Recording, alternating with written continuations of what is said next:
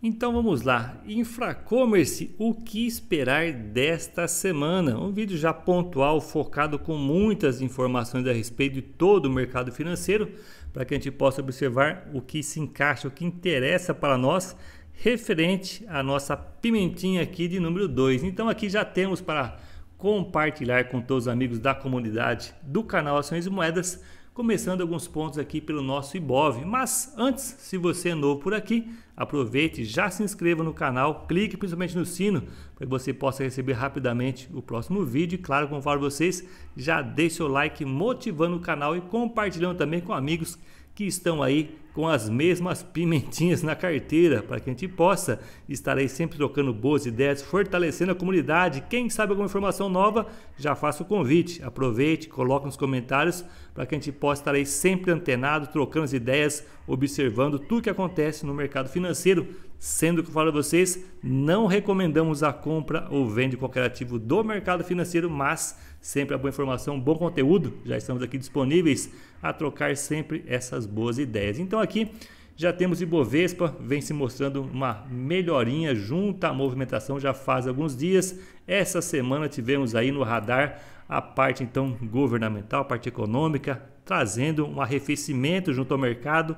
Mostrou também, como falo a vocês aqui, ó, movimento bem interessante, né? Um, dois, três, quatro, cinco dias já de movimentação compradora. Então, ou seja, essa semana foi bem interessante para o Ibov, né? Então temos aqui as médias de 9,21 já ah, mostrando um certo refresco, vamos dizer assim, de toda a volatilidade, aquela preocupação que estava aqui na casa dos 120 mil pontos. Aí estamos em 126.267. Mas toda a cautela para que a gente possa estar aí vendo mais algumas semanas o desenrolar começo do mês de julho, é, a movimentação do terceiro trimestre está em nosso radar para que a gente possa estar aí focado, claro, já de olho nos resultados aí que vem em agosto, então referente ao segundo trimestre de 2024. Aqui, outro ponto interessante é o dólar também. Na semana, você observou comigo aqui, tivemos, como já falei também, junto essa parte governamental, parte econômica,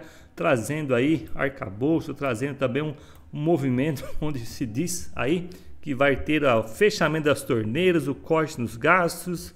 Então, o que acontece? O mercado já recebe essa informação com um ponto bem mais interessante, né? Onde a gente possa estar vendo aí um arrefecimento também do dólar, que já fez uma máxima aqui anterior no curto prazo, R$ 5,68 e agora então R$ 5,49. Interessante para as pimentinhas aqui que estão focadas aí no e-commerce, parte é, relacionada aí às suas alavancagens, né? Parte também dolarizada, então é bem interessante. Aqui, outro ponto, já para ser observado com os amigos também, parte de cotação da Infracommerce. Será que ela deixou para nós aqui, ó, um movimento aqui nesse candle de sexta-feira, um martelinho aqui, podendo ser comprador?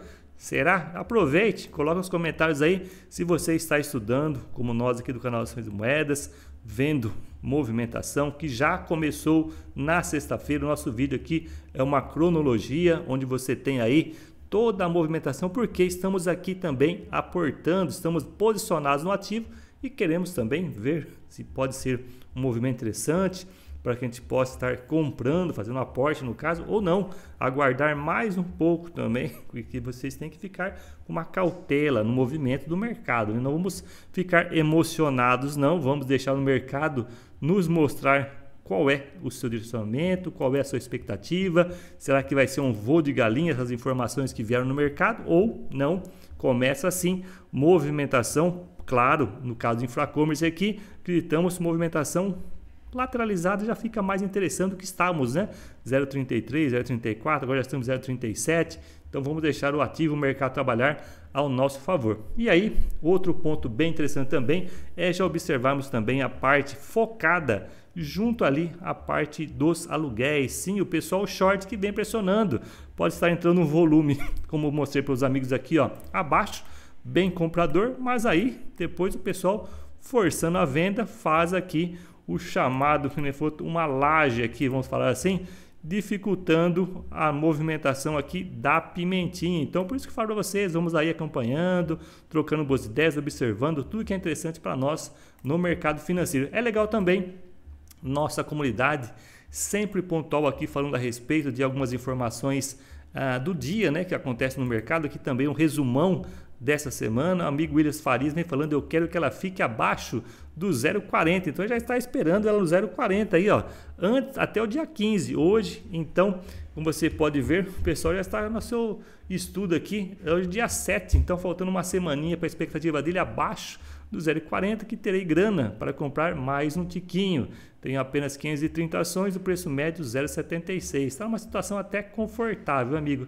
Williams Farias. O amigo Robert vem falando também na torcida, então referente ao vídeo anterior, fechamento do mercado e legal que a gente possa estar embasando nossos estudos, né?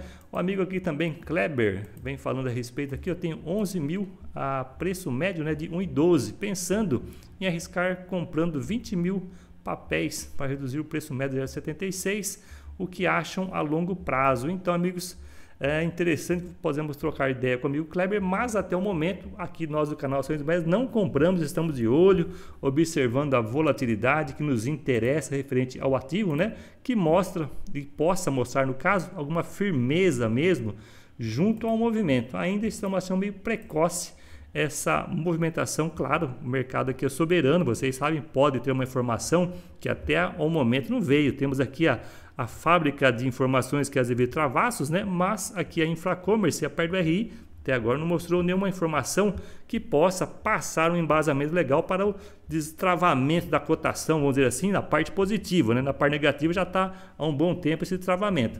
Amigo Max também, estou achando que semana que vem é, pode começar a ter candles de alta, hein? Será, amigo Max? Estamos aqui de olho também. Como você pode ver comigo aqui, chamou a atenção esse movimento, já frisando novamente aqui, ó. Será que pode ser um martelinho aqui ou segunda-feira o pessoal já vem fechando esse restante aqui desse candle? Então fica para nós aí uma expectativa bem interessante com informação legal é, logo mais também de volatilidade esperada na quarta-feira. Marca na folhinha aí, vamos observando todos juntos a movimentação aqui do mercado financeiro, né? O amigo 10 de Magos também, maioria dos ativos começou a subir. Vou aguardar essa próxima semana também.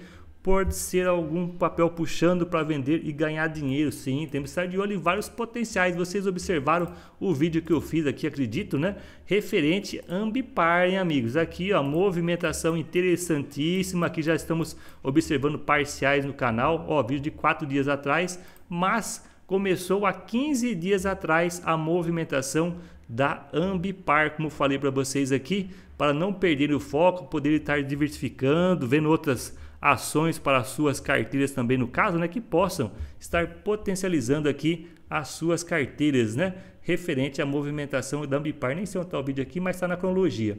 Ah, outro ponto interessante aqui, ah, falando, um amigo Max também respondendo aqui, 10G Magnus, né?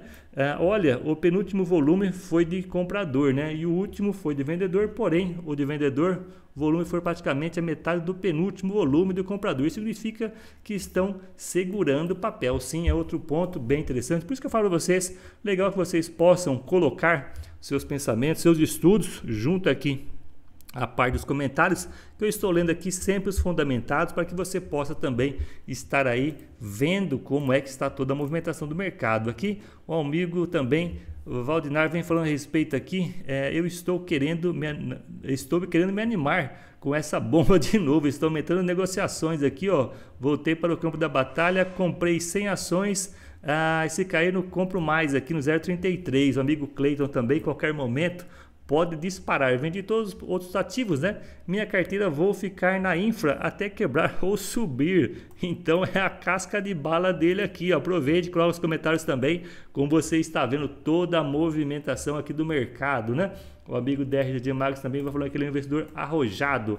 Já observando aqui Luiz Chaves, hoje me posicionei um pouco mais, né? Tô achando que uh, ela vai andar. Só não sei para frente ou para trás. Então essa dúvida aqui é, também fica com a gente do canal Ações do Médico por não termos aí a nossa bola de cristal, né? Mas, como falo a vocês, é legal sempre nos guiarmos pelo estudo, observando já ah, toda a parte do gráfico, não que ele vai resolver toda a situação, mas pode mostrar para nós um certo direcionamento, um certo observação de o preço já teve uma movimentação ah, de sua lembrança, vamos dizer assim, que ele recorda ali de um patamar de uma resistência, de um suporte, e aí fica para nós uma tentativa de ter uma viabilidade um pouco melhor junto ao que estamos estudando no ativo, né, que está ah, para ser colocado no nosso portfólio ou já está no nosso portfólio. Aqui então, já pegando para os amigos aqui percentual de ações alugadas, já é legal compartilhar com os amigos aqui informação então referente aqui, ó,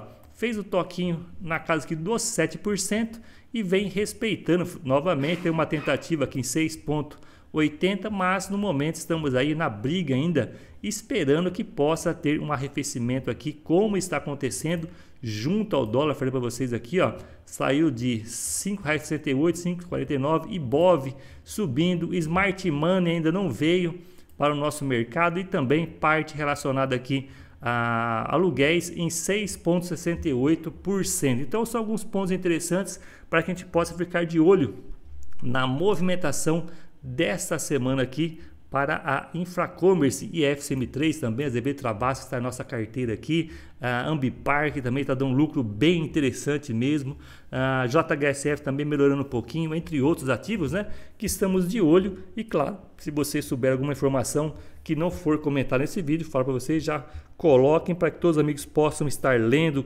eh, trocando boas ideias, né?